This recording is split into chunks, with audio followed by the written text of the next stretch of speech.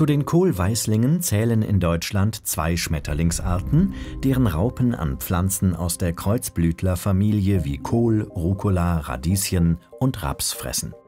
Die Falter des großen und des kleinen Kohlweißlings ähneln sich sehr, doch ihre Raupen und deren Verhalten unterscheiden sich. Der große Kohlweißling erreicht eine Flügelspannweite von 7 cm. Die weißen Flügel sind an der Spitze bis über einen Teil des äußeren Randes schwarz gezeichnet. Die Weibchen haben zusätzlich zwei runde schwarze Flecken auf den Vorderflügeln, die der Männchen sind dagegen nur von der Flügelunterseite her sichtbar. Der Kopf und Körper der Schmetterlinge ist schwarz mit weißer Behaarung. Die Falter des kleinen Kohlweißlings erreichen dagegen nur 4 bis 6 cm Flügelspannweite. Die schwarze Zeichnung der Vorderflügel reicht nicht bis an den äußeren Flügelrand. Die Weibchen tragen zwei, die Männchen einen schwarzen runden Fleck auf den Vorderflügeln. Die Falter treten ab April auf und ernähren sich von Blütennektar. Der große Kohlweißling legt im Mai und Juni seine gelben, kegelförmigen Eier in großen Gruppen an den Blattunterseiten ab.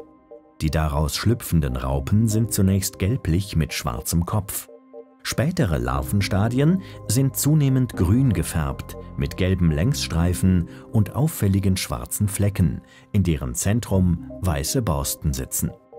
Die Larven des großen Kohlweißlings bleiben in Gruppen zusammen und skelettieren die Blätter von Kohlpflanzen bis zum Kahlfraß. Dabei hinterlassen sie große Mengen grün-schwarzer Kotkrümel. Sie erreichen eine Körperlänge von bis zu 4 cm, bevor sie sich an der Pflanze, an Steinen oder Hölzern verpuppen. Auch die Puppen sind mit ihren schwarzen Flecken und ihren herausragenden Spitzen recht auffällig. Eine neue Faltergeneration schlüpft im Juli und verursacht einen spätsommerlichen, stärkeren Befall an der Pflanze.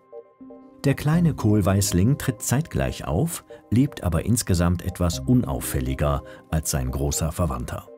Seine blassgelben Eier legt das Weibchen einzeln und über mehrere Pflanzen verteilt ab. Sie sind daher nur durch genaue Kontrolle der Blattunterseiten aufzuspüren. Die anfangs hellgelben, später gänzlich grünen Larven leben ebenfalls einzeln im Bestand verstreut. Sie sind mit hellen Borsten bestückt, die ihnen ein samtiges Aussehen verleihen. Eine gelbe Rückenlinie und gelbe Punkte auf den Segmenten zeichnen sich nur undeutlich ab. Sie fressen zunächst an den äußeren Blättern, drängen dann aber in die Herzregion der Pflanze vor. Dort kann ihr Fraß an Wachstumsspitzen zu Verstümmelung und Verzweigung führen. Die Puppen des kleinen Kohlweißlings sind blassgrün mit braunen Spitzen an den Dornen. Vorbeugend gegen einen Befall kann eine Netzabdeckung in der Zeit von Mai bis Juni die Kulturpflanzen vor der Eiablage schützen. Erntereste müssen sofort eingearbeitet werden, um die Verpuppung verbliebener Raupen zu stören. Wird im folgenden Frühjahr zeitig der Boden bearbeitet, werden auch die darin überwinternden Puppen abgetötet. Verschiedene Schlupfwespen parasitieren die Eier, Larven und Puppen der Kohlweißlinge.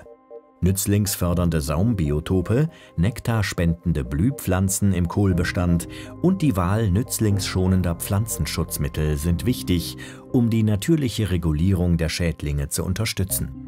Eine regelmäßige Kontrolle der Pflanzen auf Eigelege oder das Auftreten von Raupen hilft, Befall frühzeitig zu erkennen und Pflanzenschutzmittel zielgerichtet anzuwenden. Die Fraßgifte auf Basis von Bacillus thuringiensis oder Neem sind aufgrund ihrer nützlingsschonenden Wirkung gegenüber Kontaktgiften wie Pyretrinen und Rapsöl oder Spinosat vorzuziehen